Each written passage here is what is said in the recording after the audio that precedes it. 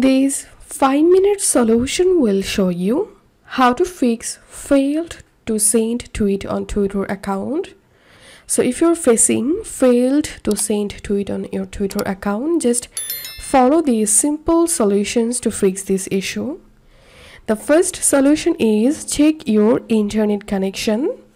If you're using a poor internet connection, it may be the reason of failed tweet on Twitter. So switch your internet connection between Wi-Fi or cellular and make sure to use a strong internet connection and then check the issue. And the second solution is update your Twitter app.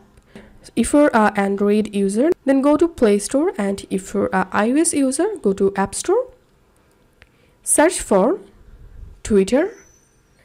If you see any update available, all you have to need is just update your twitter and check the issue. And the third solution is offload the twitter app or delete cache files.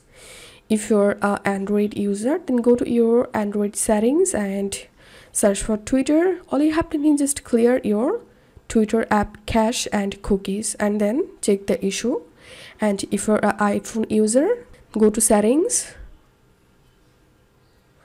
tap on general tap on iPhone storage, search for Twitter, tap on it, offload it and reinstall it and then check the issue.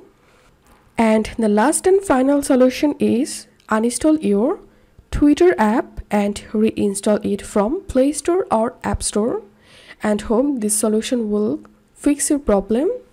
If you find this video helpful, don't forget to subscribe 5 minute solution See you in the next video.